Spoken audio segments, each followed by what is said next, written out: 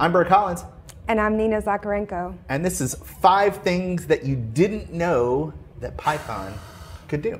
That's right. Here's a freebie. Did you know that Python is 28 years old? Really? Did you Yeah. know that I'm 28 years old? That's a fat lie. Thing number one Python empowers scientists. In Antarctica called Concordia Station, and the scientists there use Python for a lot of their analysis, graphing, data, data collection. They used it for a cool experiment where they drilled down two miles into the earth to analyze air that's trapped under the ice from In a million ground?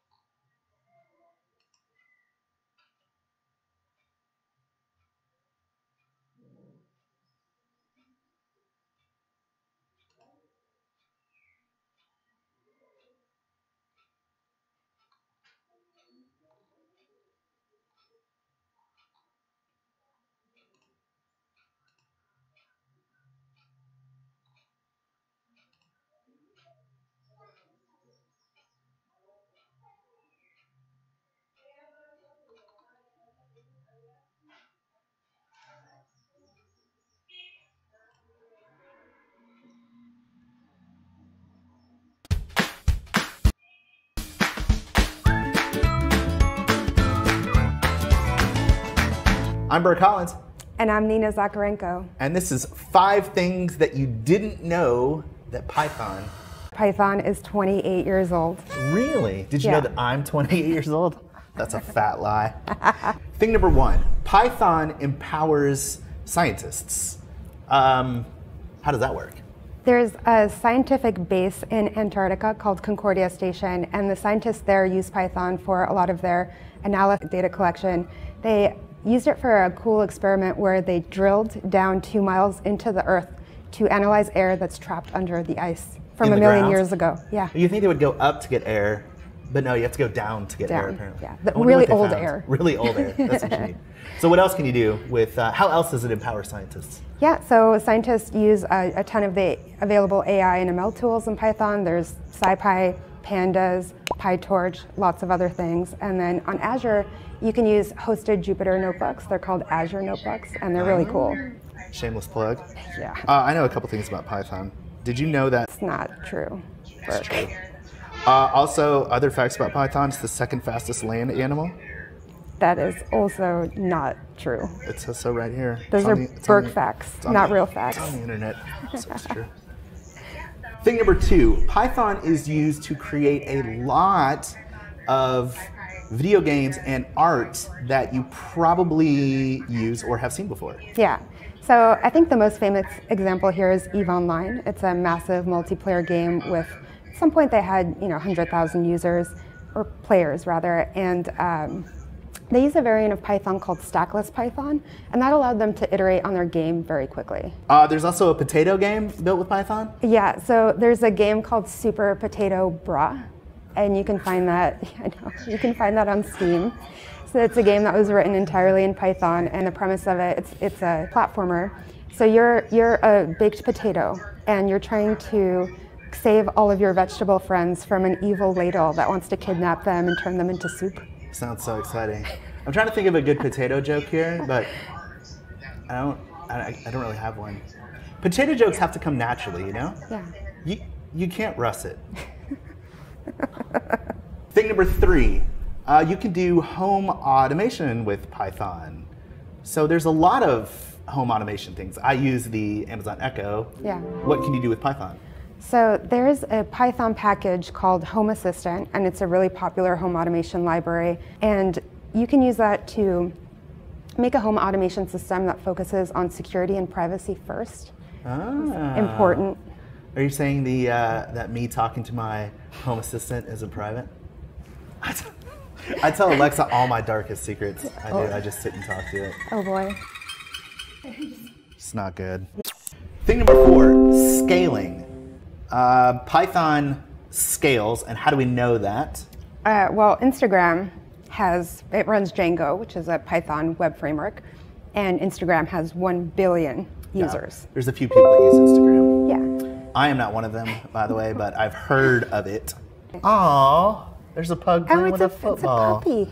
Oh yeah, there's another one. I follow a lot of pug accounts. Oh, Oh, that pug has its own pug, like that, a like a pet pug. you should- that's really cute. Pug, pug has a pug. I've heard of it before. All the kids are using it. Also, there's Reddit and Yeah, Reddit and Quora are Quora, both yeah, yeah, okay. Python based. Dropbox is also Python based. Uh, Guido Van Rossum, Python's creator, has worked there for a few years now. And then read the docs, write the docs. Everybody loves docs. That's a, a very popular Python package that is hosted on Azure. do you know there's only two kinds of documentation? What are they? It's the kind people don't, the kind they complain about.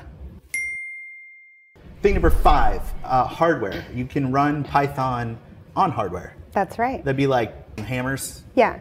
It's a weird place Yeah, nails. Python. Yeah, Nails. weird, weird stuff. Uh, so there's two subsets of Python called uh, MicroPython and CircuitPython. Okay. And then uh, there's there are lots of hardware platforms out there. My favorites come from Adafruit. So this right here is a Circuit Playground Express. This runs Python, and uh, it, has got a lot of stuff on it. It's got LEDs, it's got light sensors, temperature sensors, button switches, kind of everything that you need to get started with a hardware project without having to solder.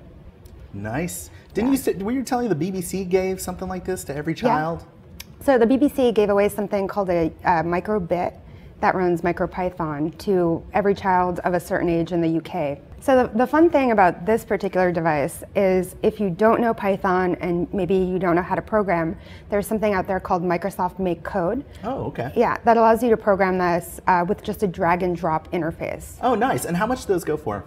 I want to say this is 30 or 35 bucks. And I'm Nina Zakharenko. And that's five things that you didn't know that Python could do.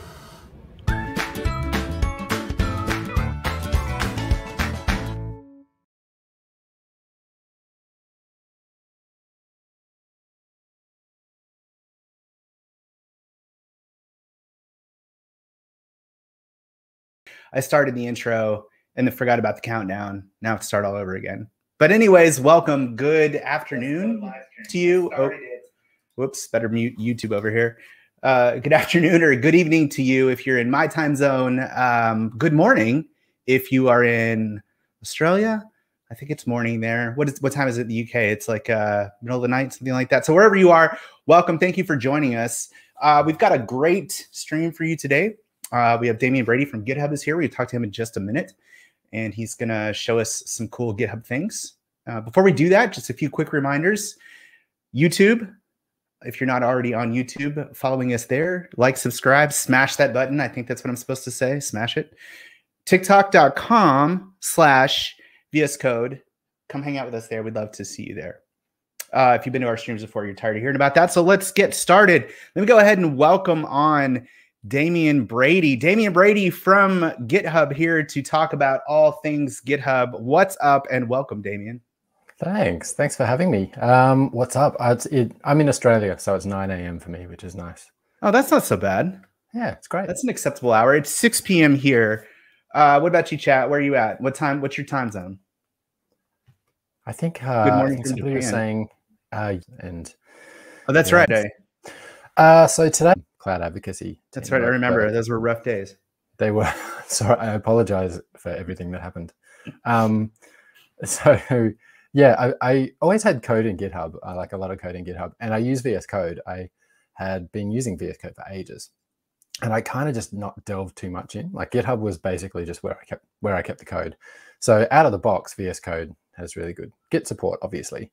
So I figured um, we'd start there, and then I'd show you some of the extensions and things that you can add to VS Code to make your GitHub workflow, you know, much much better. If you're using just more than you know your basic kind of Git. Git workflow. Yeah, I'd love to see it, man. We've got uh, people here from uh, let's see, it's 1 a.m. in Zambia, 7 p.m. in Ohio. All right, let's get right into it.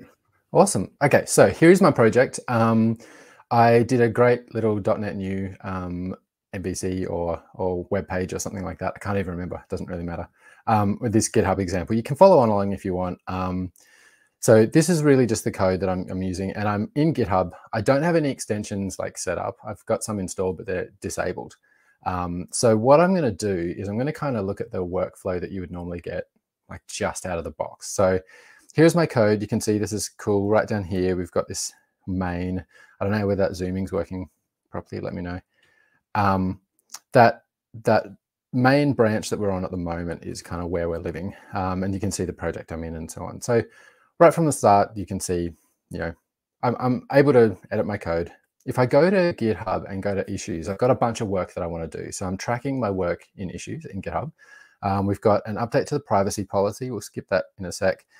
We've got to create a welcome page, which I've, I've um, I'm going to look at that one now. So that is item number one. So that is uh, issue ID one. So what I can do is, what was that issue again? It was welcome page. Okay, so my index, um, I'm basically just going to change my model here. It doesn't really matter what I put in here. So um, because it doesn't matter, I'm actually just going to use Copilot um, and see if Copilot can give me something nice. Using some solutions. Hey, that's a good one. All right, this is your homepage. Uh, got a couple extra divs in there. Excellent. Um, so we've got this change, uh, and because it's Git right right from out of the box, we've got you know we can make that change. I can add that change. I can put my commit message. Now, the way that GitHub kind of links these things together, I can say you know fixes number one, which is great. Um, I don't really get any prompts about what one is. I just need to kind of know. So I can push that. Um, normally I do that in a pull request, and we'll we'll get to that. Um, if I was going to do a pull request, I could change my branch first and, and create a new branch and then create that pull request and then go back into GitHub. Sorry, create that branch, go back into GitHub and then, um, you know, go into pull request. And you can see like even that integration is pretty good. It's moved that issue to closed. And you can see you get that kind of integration where you can see GitHub example automation moved it from done to in progress. So this was a project that I set up for these issues as well. So it's seen that I've got it fixed and it's moved it to um, done from in progress. So just by using some of the stuff in GitHub and just the native Git stuff um, in VS Code, I kind of, you can see that's moved across. So we got this create welcome page that's moved across with this link pull request from when I was testing before. Um, and it's linked to that, that change as well. So yeah, out of the box, you can do a lot of stuff. But like I mentioned, um, if I wanted to create a new branch in a pull request, I can do some of that here, but I have to do some of it back over in GitHub. So what I really want is kind of a workflow that lets me do all of this without leaving Visual Studio Code. So the first extension that I would recommend everybody using GitHub installs is the GitHub pull requests and issues. Now I've already installed this. Um, I'm just going to enable it. Um, see that it's work in progress, obviously. There's a failed pipeline to build it. And it lets you do a bunch of things. I'm going to focus on a couple of the ones that I kind of mentioned before. The first thing I'm going to show you is that I, I mentioned pull requests before. You had to jump back into GitHub to do your pull request. That's added another button right here to the um, to the Git screen or the Git tab in VS Code to create a pull request right from here. So that's really handy. Like right out of the box, we can do that um, rather than having to go back into Visual Studio. But to really demonstrate, we've got this new icon over here, and you can see, let's just ignore that for the moment. We can see the issues that I've got assigned to me right now. So it gives me a little bit of information. I'm going to work on this one, making that navbar dark. I can click on the link to open the issue directly in GitHub. So I get that deep link right into what the issue is from Visual Studio Code. Um, but I also can do this. And so this little arrow is for starting work and checking out a topic branch. So basically it combines a bunch of things. It will create a branch for this issue, name it appropriately, and kind of, it means that I'm working on that issue right now. And I can do that right from here. Um, so I can also, oh, I thought I could click on that issue or double click on that issue. Maybe not. All right, so let's do that. You can see right away down here, we've changed branches. So it's created a new branch for me called issue two. Um, and it says, look, I'm linked to this issue number two. Um, so, you know, I'm doing that work now. Um, if I click on that, that issue number two, I've got a bunch of options that Visual Studio has given me in the in the command um, command palette, command bar, um, to do a bunch of things. So I can stop working. I can create a pull request, which will push the branch and then pull, do the pull request, which is quite cool. Um, or I can open it in the web if I want to look at some more detail. All right, so let's start working on this. Um, hey, Damian, make, hey man, real quick. Earlier you said, "Is the zoom good enough?" Uh, I thought it was, but people are saying no. Can you zoom in oh, a, little bit, a little bit more? I can definitely zoom in more. I'm How's sorry. That? Zoom in until right. it looks ridiculously large, and then zoom in that, one more time. okay. Does this right. zoom work as well? Like this is going to be important. You know, yeah, that works that, really well. Yeah, that looks great. Okay, I'll do that a little bit more. I've zoomed in a couple okay. more things, but I'll, right, I'll do good. a little bit more. Carry on. awesome. Okay, I'll start again then. Um, no, keep. Let's make another change. When I um when I first did this, I looked in my Git thing and it gave me all of the bin and obj and debug stuff um, as files that I needed to add to my repo. So obviously I needed a git ignore. And I just kind of came across this little um, command that you can do um, in .NET or from the .NET CLI, .NET new git ignore which is awesome. It just creates a git ignore for your .NET project. So um, completely unrelated to what we're doing, but um, a little tip that I found from the ASP.NET monsters. Figured I'd share that one. All right, so nav uh, black, maybe this is dark. Save that and we'll just do a little rebuild. If this doesn't work, that's fine. Somebody should pick it up in my pull request, right? Um, so let's try it again. Hey, there we go. It's dark now.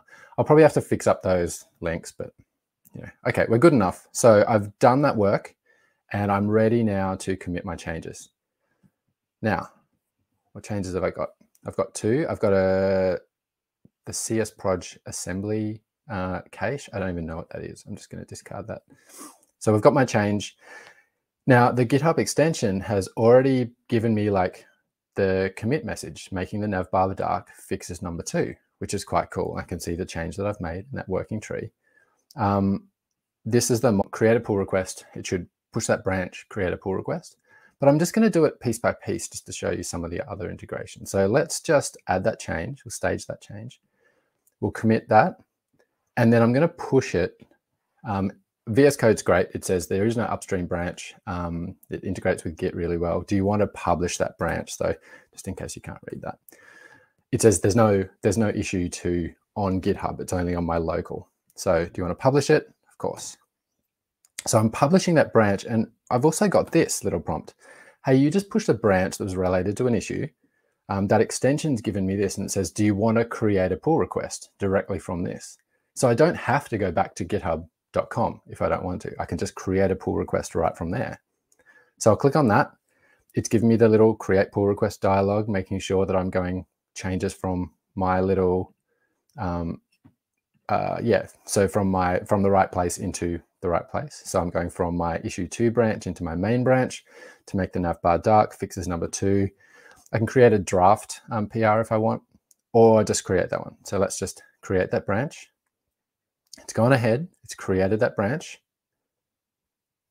and it's opened that pull request directly here. So right now I'm in exit, I'm in, sorry, I'm in review mode for this pull request, which is very cool. Um, we'll talk about that in a sec. I just want to show you what it's done in the background. So that making that nav bar dark, um, that's still um, open because I haven't closed that. We've got that make that nav bar dark pull request that I just created. Jump over to pull request, we can see make the nav bar dark. It's linked to that issue. And then that issue as well uh, has that change um, directly linked here. So make the navbar dark, a commit that reference this issue. So I can go all the way back from that pull request to the issue to the change that I actually made, which is quite cool. So that's great. I've got my pull request. I can um, I can look at that pull request and and uh, mark it as done and stuff like that. So let's just let's just merge this one because I've got another one. All right, merge that pull request. That's fantastic. Because I exited that review mode, I'm back on my main branch now. Um, and so I can do my next piece of work. So rather than do some more work, I'm going to actually look at a pull request that somebody has assigned me. Now, I'm a team of one in this little example. So this is a pull request that I've been assigned. Um, if I look at assigns to, and so this is in that repo, that pull request. It's the update privacy policy. You can see um, this is the change. Somebody's given me a privacy policy. That's great. That was actually written by Copilot as well.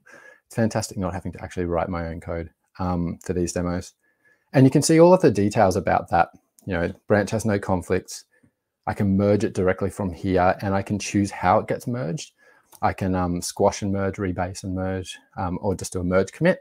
So that's really good as well. Um, I can just do a bunch of stuff in here that means I don't have to go back into github.com.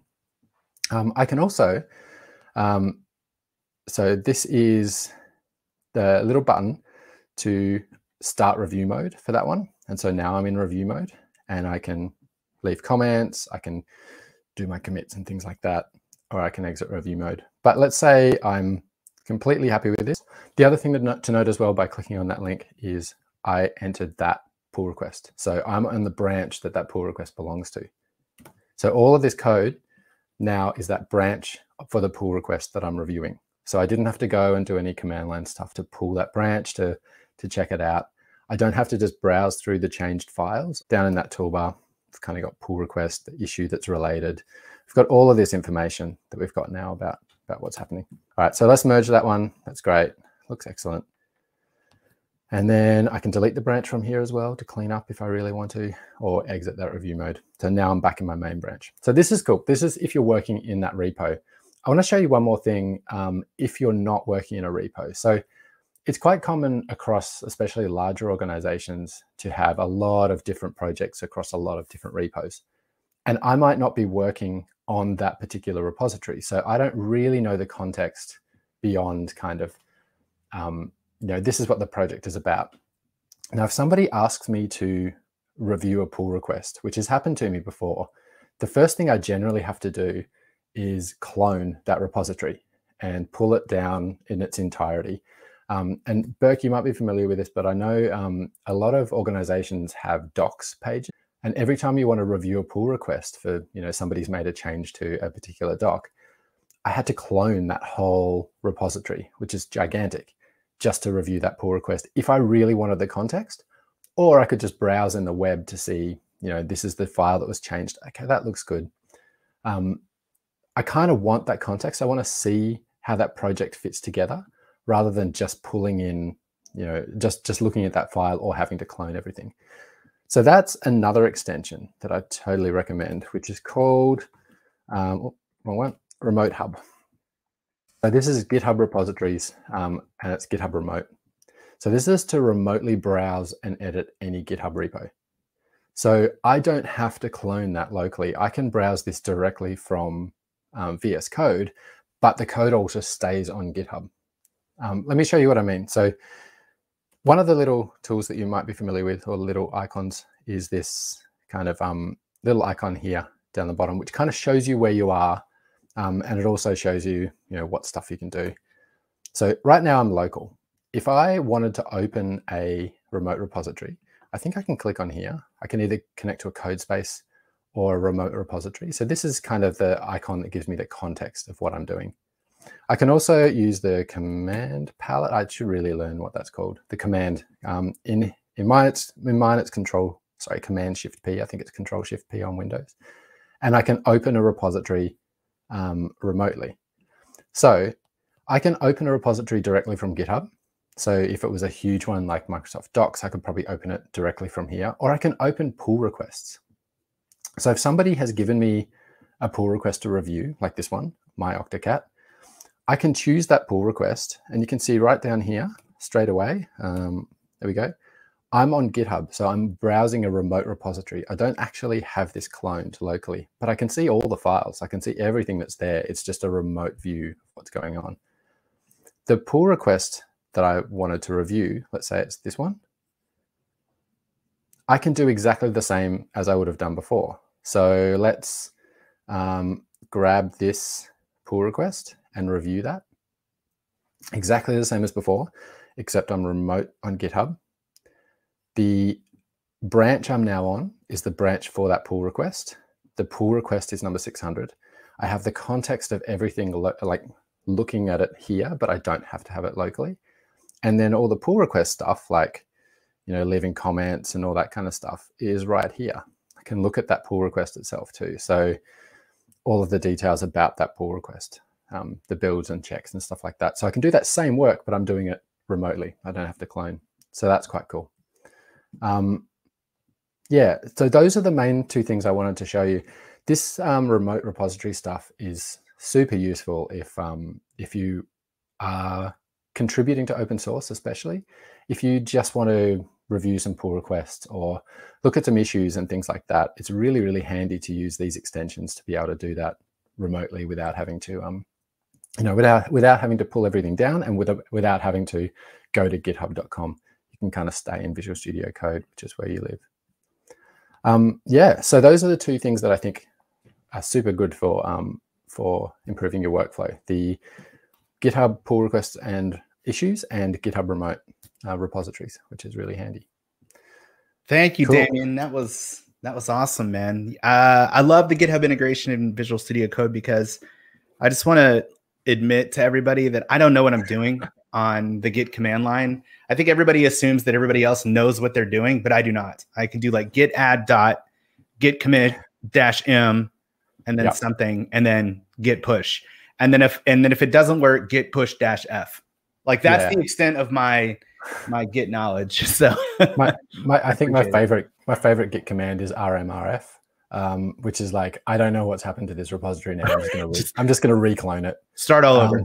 Start over. Yeah. Which so I've we've got a couple of questions here, um, but yeah. man, we have quite the global audience. So uh, a couple shout outs to uh, the chat here. We got uh, Marcos in Slovakia, Richard in Japan, Tony's in Brazil, Kimberly 4 p.m. She must be West Coast. I'm assuming. Uh, Muhammad's in Jordan uh, Abdians in Indonesia. So, I mean, we got people joining us from all over, which is awesome. Yeah, First question right. for you. Yes. Does this work with GitHub Enterprise? Some of it does.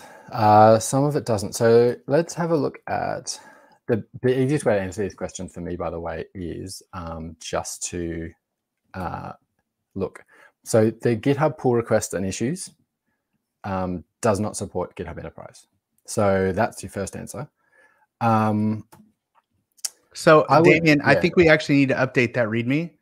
Uh, yeah. I think it does support it now. So what I'm what okay. so Sana is in the chat. She's our PM and she's saying, well, it was it was, but then it wasn't, but now it is again. Ah. So I think we need to okay. we need to update the README. Yeah, she's saying it does. And okay, it does. Sana would so, know. Yeah. All right. Can I do DevTools in this? Okay. Anyway, I was going to just delete that from my, delete, just my do it right there. Yeah. Yeah.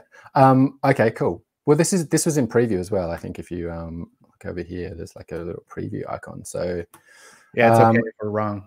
Yeah, it's okay if we're wrong, right? And also, if you really wanted to, here's the repository for it. Uh, so if you wanted to submit a pull request and uh, update the README and update and the README, you could even do it remotely. Anyway. Look at that. That's true. Everybody go get the remote repositories extension and submit a PR to fix the README. Yeah, we'll just watch this number bump up as we're as we're as we're sitting here. That would be awesome. Yeah. Uh cool. yeah, so that's awesome. That, that's great. Uh let's see here. What else have we got here? So one person I'm looking here because I want to get the name exactly right. Um, so oh. Jay was saying it's pretty slick. It's nice having all the tools in one window. I agree with that. Um, Julian had pointed out and said, so basically, this is the GitHub interface. And I think that that does beg the question of, is this supposed to replace the GitHub interface, Damian? What's the uh, what's the end game here? There's still plenty of stuff in in GitHub that you you don't get here. So like your project management and management and stuff like that. Um, so looking at individual issues, um, it's great for that individual pull requests and all that kind of stuff. Seeing what stuff's assigned to you. What this is really about is just kind of enabling that developer workflow. So as a dev, you don't want to keep jumping between the browser and your your development environment, right? You want to stay in the tool that you're using all day. You don't want to jump back and forth. But as a PM or a product manager or a project program manager or something like that, you probably do want to look at your boards and your you know planning tools. Um, if you're doing actions and there are extensions for actions, you might want to do that in Visual Studio Code, or you might want to manage that stuff in the browser as well. What these extensions are for are things for people who are spending their time in Visual Studio. There's plenty of other stuff for GitHub um, that doesn't you know really relate directly to your day-to-day dev those things can stay in GitHub or maybe integrate with other tools. But these ones are for the developers. Gotcha. Yeah. So sort of the best of both worlds. We we refer to that as the inner loop. Like that's just yeah. the terminology that we use here at Microsoft, outer loop. And so right. you what we would try to do is bring everything into the inner loop so that you don't have to leave, which in theory makes you more productive. Yeah. Uh, good comment here from uh, let's see here. Uh, Abdian pointed out, said, "Cool. I hope the next feature can be integrated with GitLab, just like this." Uh, Damian here is with GitHub, but yeah. listen, GitLab, GitLab can build an extension too. Anybody can build an extension. So uh, if they do that, you can have that kind of functionality as well. Is there? Do I dare like search? I think there is a GitLab extension. There you go. Take a GitLab workflow. Right there. Hey, check those code, out. CodeStream, okay. GitHub, GitLab. That's kind of cool yeah, very extensibility, uh, very high extensibility in VS Code. So next, uh, Bar- Bara said next GitHub on VS Code. How does that work? We have GitHub in VS Code, and technically, can we put VS Code in GitHub? That's it. So yeah, so Code Spaces is pretty much just the Visual Studio Code engine running in the browser for you, so you don't need it, in, it locally. But yeah, heaps of other advantages to using code spaces, um, including like the development environment. To get this to work, I obviously had to have .NET installed. You know, I had a bunch of other stuff that I needed to put in my dev environment. If you're using code spaces, you can include that in the repository so anybody who launches a code space has all that stuff set up. But that I guess that's probably the the you know reverse of what we're looking at now. Yeah, I would think so. It's kind of cool. You're we're seeing both things in both places, which is uh, a cool place to be. Mm. Uh, let me see. A couple of people pointing out um, GitLens. How is this yeah. extension better than GitLens? How is it better? I think it's just different. So the issues and PRs stuff for GitHub is really about that workflow of picking up the work, creating a pull request, and moving it forward. GitLens, um, I haven't looked at it for a little while. Um, I'm on a relatively new machine here, but I use that mainly for uh, almost like a little shortcut for Git blame, right? So it tells you it tells you who um, it tells you who did a piece of work. Um, why don't we just install it see if it works? Um, so this does a bunch of stuff. I've used it before. It's a fantastic extension. Uh, there we go. I believe it is the most popular VS Code extension the oh, last really? time I checked, it was. If it's that's not, cool. that's changed recently. Let's just close my remote workspace so that'll work. So I think I just installed GitLens. Um, and so this file now, I should get extra information here. There you go. So the last change was me three days ago that initial commit. And uh, what else can you do? Team? team something? Show team. What actions. does that do? Show team actions. Let's click on it. I'm not. I'm not scared. Start a live share session. Oh, you can start Wow. live share directly from GitLens. Okay. That's very cool. Um, so yeah, it gives you a lot of this kind of stuff. Does it give you extra stuff here? Oh no, that's just the IDE stuff. Damian, do you know are there similar extensions to this um, for Visual Studio? Um, I don't know. Is the short answer. I was trying Okay. to- trying to work out. Um, the way to find out would be. This is where my like previous life um, in uh, DevRel or in cloud advocacy. You go, GitHub extension for Visual Studio. Oh, let's zoom in because that's gonna be readable. GitHub, GitHub extension for Visual Studio. Connect, clone, create, publish. Pull requests. Yeah, looks like it. Review pull requests. Yeah, there you go. So if you missed that, sorry, um, Visual Studio Marketplace. So marketplace.visualstudio.com. And then you click on Visual Studio. So by default, mine was on Visual Studio Code. Um, so that's where the extension was. But yeah, right here. So All the right. answer would be yes. Awesome. So we got time for one more. I want to get it in. Uh, George Gomez, would you say that Remote Hub, or it's it's really re- remote repositories, right? What's the name here? Let's get that right. It's like yeah, GitHub, the- GitHub repositories is what it's called. yeah. So that, It's right the- there on the Oh, you're right. There was a thing. GitHub repositories. Yeah. Okay. right. So the question is: Is that comparable and or easier than the web interface for reviewing a PR? I would say, I, I think it's probably easier from my point of view. And the main reason is the way you work with your code in Visual Studio Code, if that's your you know editor of, of choice, you have your you know the stuff you're browsing, you have the work that you're doing, um, and you can flick around exactly the same way as if the code was local. So if you're reviewing work that's happening, you're doing it in that same environment you used to, rather than doing it you know, in a browser. So the browser's fine. You can look at where the files are, and then you click into a file, and now you're on a page with just that file. To get back to what the tree looks like, the directory tree looks like, you have to go back to that previous page and see it there.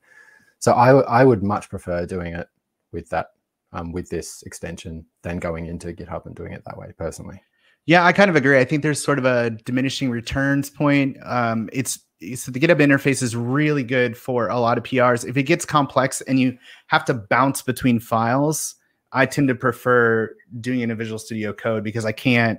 There's just- just too much going on in the web interface for me. But both, I think, both have their their place. Whatever works best for you. yeah, exactly right. All right. Well, that is it. We're a wrap. They're going to cut us off on Learn TV. so we're going to stop it here. Damian, thank you so much for being with us today. Yeah, of us all course. the cool GitHub stuff. Thank all of you for being here, chat from all over the world. It was great to be with you this evening, this morning, the middle of the night, wherever you are. We'll see you back here next week for the next VS Code live stream. Remember to check us out at code.visualstudio.com slash live stream. We keep our schedule there. We got a lot of cool stuff coming up for you, but you're gonna have to check it out there to find out what it is. Thanks again, Damian. Thank you. All right, enjoy the rest of your day. Yeah, Bye, everybody.